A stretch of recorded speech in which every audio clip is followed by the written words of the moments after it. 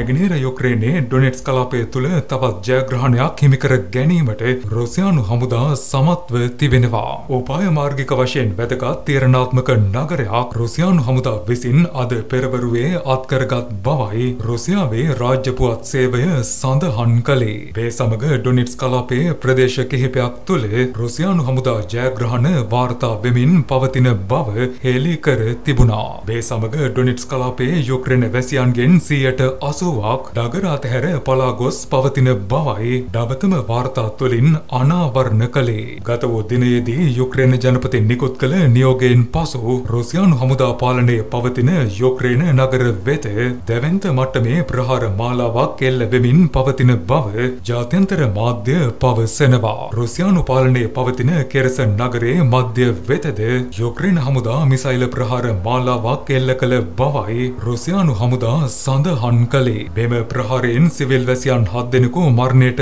පත්ව හතලිස් දෙනෙකු තුවාල ලබා පවතින බවට රුසියානු හමුදා චෝදනා කළා. මේ අතර අමරිකානු බුද්ධ්‍යංශ වාර්තාවක් අනාවරණ කළේ යුක්‍රේන යුද්ධය වෙනුවෙන් රුසියාවට ආයුධ ලබා දීමට ඉරානය කටයුතු කරමින් පවතින බවයි. මේ යටතේ රුසියාවට ඩ්‍රෝනයානා සහ නියමුවන් රහිත ප්‍රහාරකයානා ලබා දීමට ඉරාන රජයේ එකඟතාවය පළ කර පවතින බවට චෝදනා නගා තිබුණා. මේ වන විට රුසියාවට පනවා පවතින සම්බාධක තුළ ප්‍රහාරකයානා නිපදවීමට අවශ්‍ය අමුද්‍රව්‍ය හිඟයක් පවතින බව රුසියානු වාර්තා තුළින්ද හෙළි කර තිබෙනවා. මෙම තත්ත්වය තුළ ඉරානයේ සහය රහසිගත මට්ටමෙන් රුසියාවට ලබා දෙමින් පවතින බවයි හෙළි කර තිබුණේ. මෙය ඉරානය යුක්‍රේන යුද්ධයට සම්බන්ධවීමක් ලෙස සලකන බව අමරිකානු වාර්තා තුළින් පවසා තිබුණා. මේ සම්බන්ධයෙන් රුසියාව හෝ ඉරානය ප්‍රතිචාර පළ කර නොමැති බවයි ජාත්‍යන්තර මාධ්‍ය වාර්තා සඳහන් කළේ. ගෛනික වාර්තාව තුළින් රුසියානු හමුදා කියා සිටියේ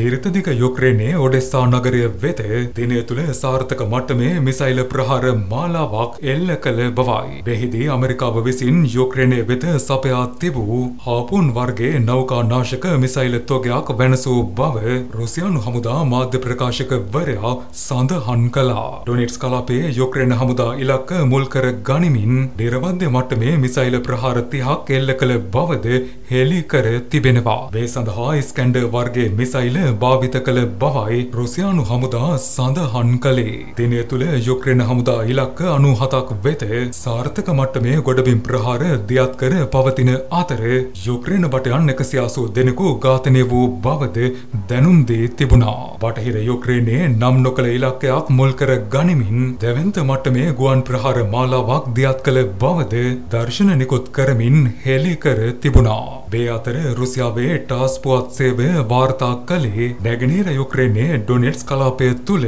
රුසියානු තානාපති කාර්යාලයක් පිහිටුවීමට කටයුතු කර පවතින බවයි. මේ සමග යුක්‍රේනයේ ඩොනෙට්ස් කලාපය ස්වාධීන රාජ්‍යයක් ලෙස සැලකීම ආරම්භ වන බවද පවසා තිබුණා. මේ සමග යුක්‍රේනයේ සියලු වැසියන් වෙත රුසියාවේ පුරවැසිභාවය ලබා දීම ආරම්භ වන බවයි ටාස් වාර්තාව සඳහන් කළේ. මේ සඳහා වන නියෝගයට රුසියානු ජනපති විලැත්මීර් පුටින් අත්සන් තබා තිබුණා. දෛනික වාර්තාව තුළින් යුක්‍රේන ආරක්ෂක අමාත්‍යංශය කියා සිටියේ වෙන් ඉදිරියට යුක්‍රේනය තුළ රුසියානු හමුදාවට ආරක්ෂිත ස්ථාන නොපවතින බවයි. යුක්‍රේන හමුදා සාර්ථක මට්ටමේ ප්‍රහාර අරඹා ඇති බැවින් ආක්‍රමණිකයාගේ අනාගතය වෙනසකට ලක් කරන බවද පවසා තිබුණා. ලොව වටා වැදගත් පුවත් දැනගන්න ලංකා ඒ නිවුස් සබස්ක්‍රයිබ් කරන්න.